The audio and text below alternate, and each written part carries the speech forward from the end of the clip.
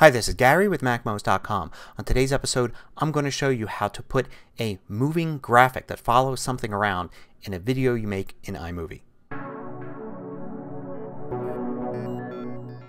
So let me point out that I'm using iMovie 10.0.7 and we're going to create something where you can have a moving item like that circle there you see in the video uh, follow something going on in the video. So I'm going to use a variety of techniques to create uh, a video that has a moving graphical element in it. I'm just going to have a circle that follows a person in the video. And to do that first I need to have a graphic that I can use for that animation. I'm going to go in preview here and create something new and I can't create something new in preview unless I have something on the clipboard first. So I'm going to do Command Control Shift and 4 screen capture just a little bit of white space there. Now in preview I can create new from clipboard and I get this white space here, preview. Now iMovie demands that graphics brought in are the same ratio as the video itself so I'm going to have to adjust the size here and make it a 16 by 9 uh, video. So I'm going to change it so it's equivalent to 720p and I'll shrink that down. You can see I've got a graphic now that's the size of the video. Now I want to create a circle right in the middle so I'm going to create a circle graphic there. I can change the color here. I don't want it to be filled uh, with anything. I want it to be an empty circle. And I'm going to create it pretty big and then kind of put it in the center. It doesn't have to be perfect. So now I have a red circle and a white background. I don't want any background at all. So I'm going to select the selection tool here. I'm going to do Command A to select all and delete everything in the background which is that white that we copied from the screen. And now we have a transparent graphic with this red circle in it. Now I'm ready to export it and I'm going to export it as a PNG with the alpha channel. I'm going to save that to my desktop as circle. Now I'm in iMovie and I'm going to drag and drop in, instead of just using an import function, a video here into the import media section. And I have this video of some skiers. I'm going to create a new project, new movie project, no theme, and I'm going to drag this clip in here. So now I have over here I can see this video of some skiers. Now I'm going to drag that circle graphic in. I'm going to put it above the video right here.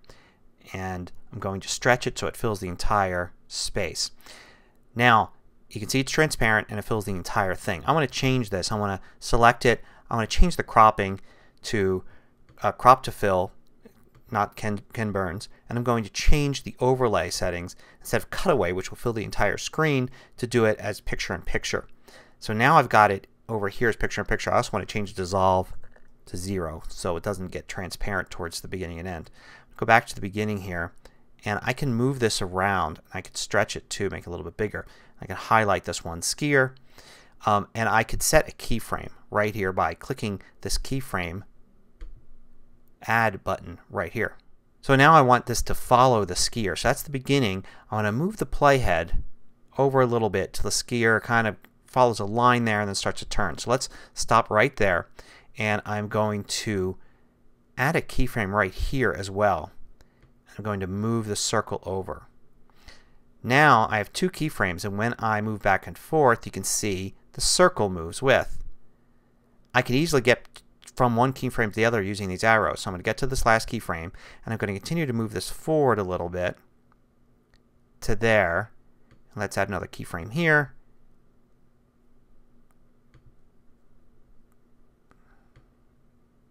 it's kind of tricky to add the keyframes as you see this is removing the keyframe. We don't actually want to do that. We want it to add. Okay. Then I'm going to move it here like that and it's automatically going to add each one each time. So I don't have to press that add keyframe button.